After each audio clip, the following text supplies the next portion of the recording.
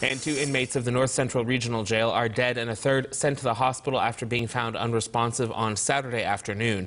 Officials with the West Virginia Department of Homeland Security said the three inmates were in a quarantine cell at the facility when they were discovered. Officials said medical care was immediately provided, but two of those three inmates were declared deceased an hour after they were found. Those inmates have been identified as 40-year-old David Eugene Smith and 31-year-old Jeremy Imani Carter.